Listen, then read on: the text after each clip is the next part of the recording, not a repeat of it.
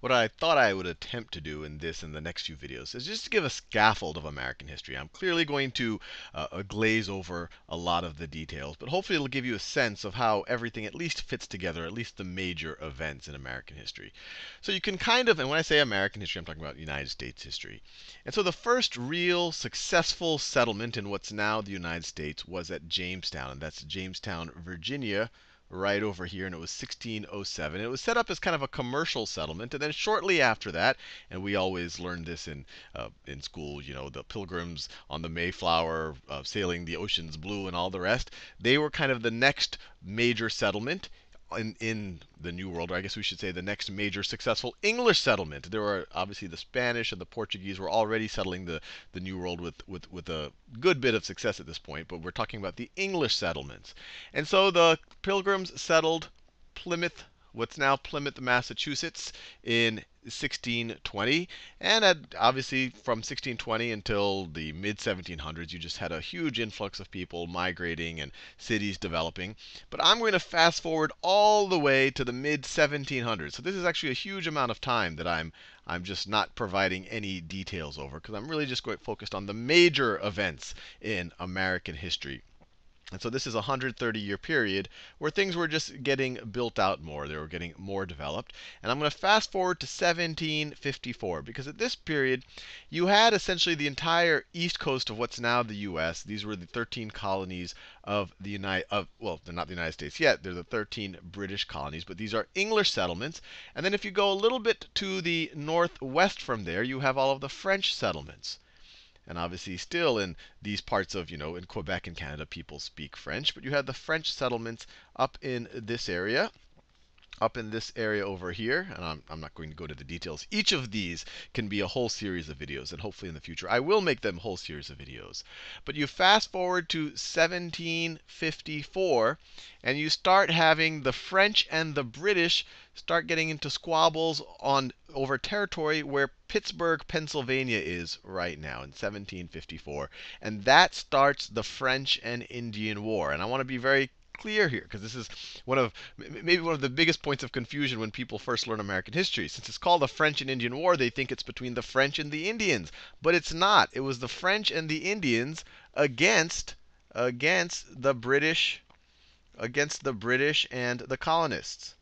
So in this war, the British and the colonists were on the same side against the French and the Indians. And obviously there were some Indians that were also on the side of the British, but but it, it's called the French and Indian War because these were the people that the British were fighting against. Now, if anyone outside of the, the United States talks about the French and Indian War, they will not call it the French and Indian War.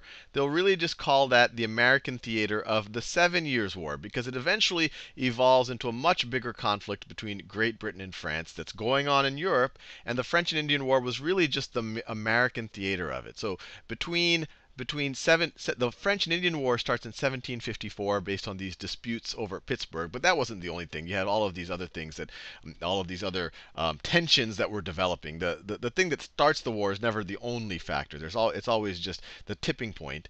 But that leads to a bigger uh, a bigger war in Europe, and that's the Seven Years' War that starts in 1756 and ends. They both end because they're really the same war. They're really the same war. They both end in 1763 with the Treaty of Paris. Treaty of Paris, 1763.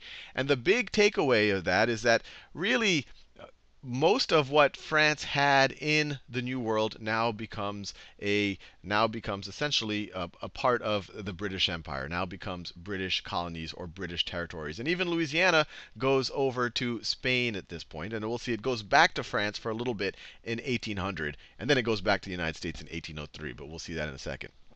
So 1763, the British, it was this huge, costly war, but they were able to win. And at least from the point of view of the British, they felt that this, you know, the main beneficiaries of this war were the Americans. They were able to get all of this new territory, all of this new area that they can now trade with, or they can now potentially uh, settle. And so the British decide to start taxing the Americans for at least some portion, to, to recoup some portion of the cost of the war. So they passed, in 1765, they passed the Stamp Act.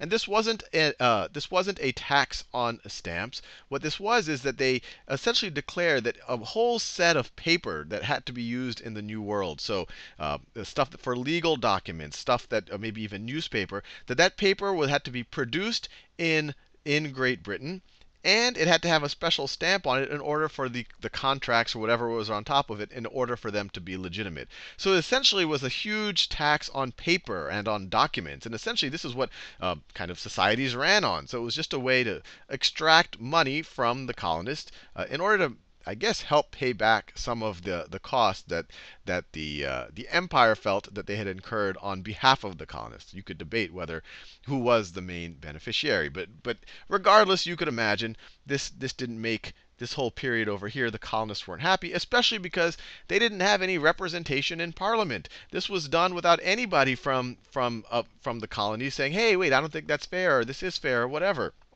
And so you fast forward 1773, you have the Boston Tea Party, where you have a bunch of people who, for whatever reason, and there's there's multiple interests here, but there was three ships in Boston Harbor full of tea, uh, and and owned by the the tea was owned by the East India Tea Company, and they decide in protest, and there was a whole there there was a whole series of acts and, and other taxes that went back and forth. But once again, we're not going to go into the details here.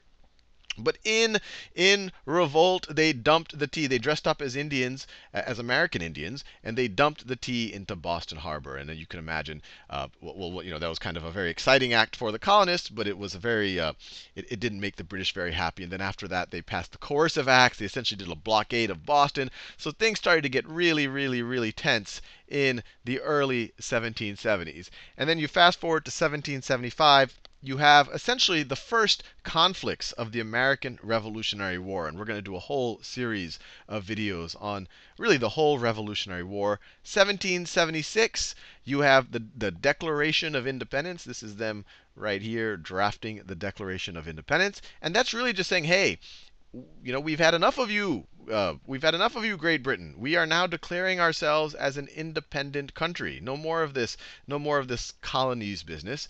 And so all the way until 17 83, you have the American Revolutionary War. And once again, you can do a lot of videos on this, but I'm just going to uh, go over it just so you have a, a, sense of when everything happened and when everything ended. And we can later dig deeper into the scaffold. And it ends with the Treaty of Paris.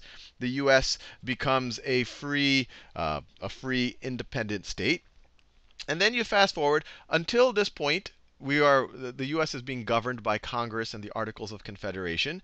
But the Constitution that we have now, it was drafted in 1787. It was ratified. It had to get at least nine of the states to ratify it. That happened in 1788, and then it went into effect in 1789. So it depends what you consider the birth of the country. It, well, it was definitely be the Declaration of Independence, but the country in its current form, with its current institutions, with its current constitution, started in 1789, and that was also the beginning of Washington's first of two terms as president, and those ended in 17, 97, and then John Adams comes into the picture. And the reason why I put this, I won't, obviously, this is actually the only president that I showed, is that it was actually very important that he decided to step down after two terms. He was hugely popular.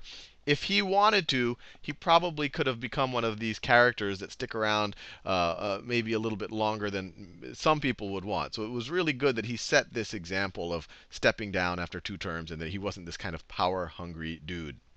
You fast forward a little bit more, 1803. I mentioned that after the after the French and Indian War, uh, what's Louisiana? I want to be clear when I say Louisiana. Louisiana isn't just what's the current state of Louisiana. It's this whole region that includes the state of Louisiana, but all the way up to roughly what are the, the United States' current border with Canada. And after the French and Indian War, all of this business over here went to Spain. And then in 1800, it went back to France. But then in 1803, Napoleon had a bunch of stuff that he had to wear. His naval fleet was destroyed. He had a uh, he had suffered some defeats in in, in, in in the in the West Indies, I guess we could call it. Um, in particular in in in in, in Haiti, and uh, he said, well, you know, I probably won't be able to control this territory anyway, so he sold it to the United States for uh, what turned out to be a very, very, very cheap price. But it was kind of like, you know, it's not like he could have protected it anyway. The United States might have been able to take it from him without him uh, being able to do anything. So he might as well get some money uh, uh, for it so that he could fund his battles in Europe. So in 1803, the United States almost doubled in size. It went from it went from these territories that it had after the American after the American Revolution for Independence, and now it got all of this region over here in 1803. Then you fast forward a bit. You fast forward a bit, and the War of 1812. It's an interesting one because there weren't any really serious um, outcomes from it. But what was interesting about it, this whole this whole time period, even after independence, the British continued to harass America. They continued to uh, arm uh, Native Americans who who would uh, who would cause uh, kind of, you know, who would maybe revolt or, or cause trouble for settlers. They would impress uh, American seamen. And when I say impress, it didn't mean that they were like, you know, doing something special. It meant that they were impressment of of of seamen meant that they were kind of taking over these boats, taking the sailors, and forcing them to become part of uh, the British military. So they were doing a whole series of things that was really kind of antagonizing the United States. In 1812, the United States declares war on Great Britain. You have the War of 1812. It ends in 1815 with the Battle of New Orleans. Battle of New Orleans. But there wasn't any real transfer of uh, a territory or anything like that over here. What was good, some people call it the Second War for American Independence, is it really asserted that uh, kind of America's that, that America was here to stay, or that I should say that the United States was here to stay that the that the revolution wasn't just some fluke that it isn't some just fly by night country. It was able to defeat one of the greatest empires in the world again. So it's kind of here to stay. Now you fast forward a little bit more. The this part of of what we call Texas this area right over here it was before 1836 it was part of Mexico. But the Mexicans actually encouraged actually encouraged uh, English speaking settlers. These would be American English speaking settlers into the area just because it was very sparsely settled.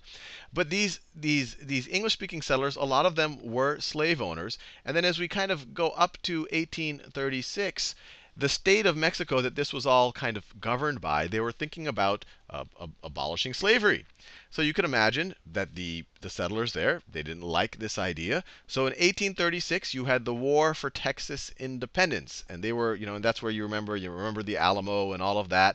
And then the first president of Texas is Sam Houston. That's why Houston is named Houston. And then you fast forward all the way to 1845. And in this time period, you have this whole talk in the United States of manifest destiny that, you know, it's it's it's part of our God-given destiny as as Americans to one day uh, extend our territory all the way to the all the way to the Pacific Ocean. So people were already eyeing a lot of the territory. Remember, all of this territory, this was this is this was Texas, and Mexico still viewed it as their territory, even though it was being governed independently by the people who call themselves the Republic of Texas. And you had all of this territory that was Mexican territory. So people were starting to eye this as, hey, wouldn't it be nice uh, uh to get a little bit of that? So in 1845, and this was in agreement with the settlers in Texas, with the Republic of Texas.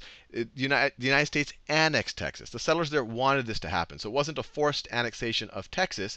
But Mexico was not so happy about this because Mexico still viewed still viewed Texas as part of their territory. And America to some degree, depends on how you view it. It seems like they kind of wanted to goad Mexico into war, so they sent military really close to the border of Mexico, even into some territory where you know Mexico might have had better claims to it, or you know I'm not going to take sides on this, but they, it seemed like there was some instigation going on, and there's some debate about the actual course of events. But in 1846, you have war actually breaking out between Mexico and the United States, and by 1848, the United States essentially trounces Mexico, and most of the war actually does go on on Mexican land, on Mexican land. And because of that, because of that, Mexico cedes over all of this area. So California and all of the rest of, you know, Nevada, Arizona, what the part of New Mexico that didn't come along with that the United States didn't already have. And along that those that same amount of time, you both had the British and the Americans that were that were eyeing this territory, the Oregon Territory up here, and it even included part of Canada.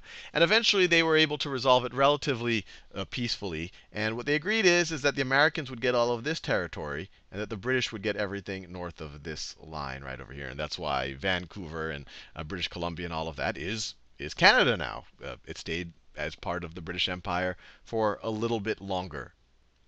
So by 1848, the manifest destiny essentially had happened. We, uh, the United States, had gotten everything from California all the way from the Pacific coast to the Atlantic coast.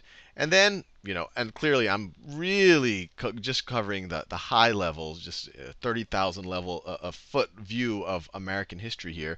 This whole time you had this tension developing, you know, from the birth of the country through through the election of Abraham Lincoln, you have this tension over slavery. A lot of people in the North didn't like it on moral grounds. Uh, a lot of people in the South didn't like it. Uh, well, they wanted slavery regardless of their their what they thought of it morally. The the South's economy, to a large degree, was based on on slavery. And so all of this, you know, the tipping point kind of happened in 1860, where Abraham Lincoln, who was who was pretty vocal about his uh, about the fact that he did not like slavery, that he did he didn't he wanted to curb the spread of slave states. And you know, up to this point, you had all of these compromises. Every time a state came into the union, the slave states wanted to be another slave state, the free states wanted to be another free state. So you always had this uh, people kind of jockeying for for for whoever could have the most states in, in on their side of the camp. But all of this kind of uh, uh, pro-slavery and anti-slavery that hit a tipping point in, in 1860 when Abraham Lincoln, who was fairly vocal uh, about not extending slavery, he was elected. Then a bunch of what are now, you know, we now consider southern states seceded from the Union. And then in 1861, in in South Carolina, you know, South Carolina said, hey, we are not part of the United States anymore, but there was still a United States military garrison there, so they attacked it. That started the Civil War. And so during the Civil War, it lasts until 1865, Abraham Lincoln makes the Emancipation Proclamation in 1863, which essentially proclaims all the slaves should be free. This lays the groundwork for uh, the 13th Amendment to the Constitution.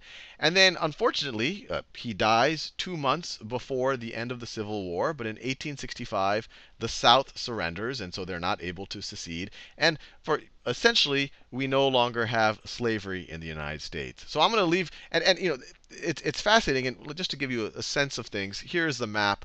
The, the navy blue are the Union states, the northern states. The light blue are the territory controlled by the northern states. This orange color are the are the states that seceded from the Union, the Confederacy, and the this light orange, these are kind of territories that they controlled, but they were disputed. And these yellow these yellow states right here were were members of the Union. They didn't secede from the Union. They didn't join the Confederacy, but they were slave states. But probably the most fascinating thing about uh, the, Amer uh, the Civil War, other than the fact that it, it, it ended slavery in the United States, so that was probably its biggest thing. But it was also the bloodiest war that ever happened uh, in, United, in the United States history. During the Civil War, during the Civil War, and these are unbelievable numbers, 18% of white males in the South, white males in the South in South died. 18%, almost one out of every five white males in the South died during the Civil War. And for the North, it was slightly better, it was 6%, but still a huge percentage of, of the men in, these, in, the, in, in the United States died fighting the Civil War.